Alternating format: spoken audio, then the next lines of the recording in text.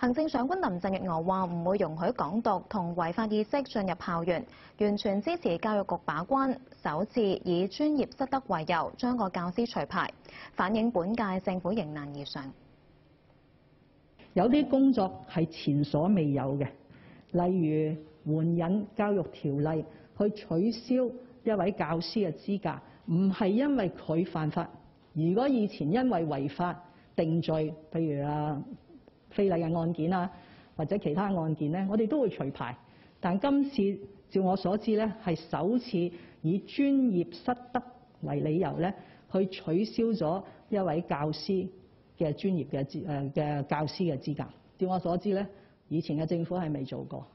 當然你會話以前可能冇呢啲問題，但係恐怕唔係，可能係誒以前係比較避難，但係今日嘅特區政府咧，我哋係迎難而上。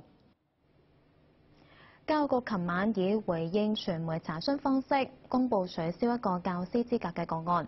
據了解係九龍塘宣道小學一個男教師，但係政府未有正式出新聞稿，亦都冇提供校名等嘅細節。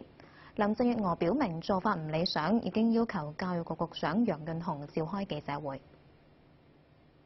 今早一早咧已經係誒見咗教育局局長。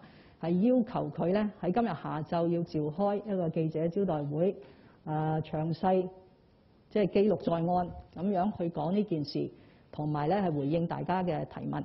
咁呢個亦都係增加透明度。我亦都希望即係社會明白啊，我哋嘅做事咧都係要有根有據、有規有矩。但係無論如何咧，呢個工作係會誒繼續做落去，嚟到去抽出喺教育界裏邊嘅害群之馬。另外，林鄭月娥指好難講第三波疫情已經徹底過去，政府會繼續嚴陣以待，並且預告一啲原定星期四五夜到期嘅社交距離措施，包括四人限聚令等，要維持多一段時間。大致上唔會進一步放寬。佢又再次表示，正係研究俾身處內地港人，如果持有檢測陰性結果，來港時可以免強制檢疫十四日。